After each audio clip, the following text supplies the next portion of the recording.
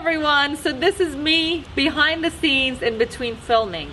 Every day I have to do my hair, which means that they put a lot of like hairspray and a lot of um, you know different things on my hair which is not necessarily great for your hair and styling iron and all of that. And I used to have really thick long hair and now I feel like hair extensions are making it get thinner and thinner.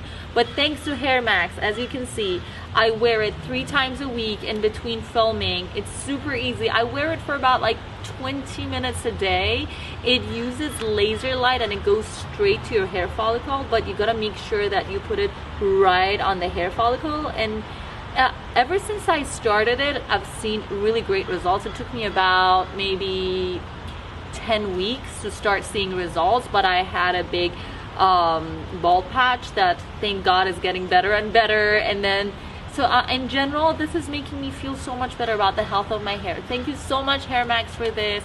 And I and I really want you guys to try this for yourself and tell me what you think because I know this is gonna help you massively.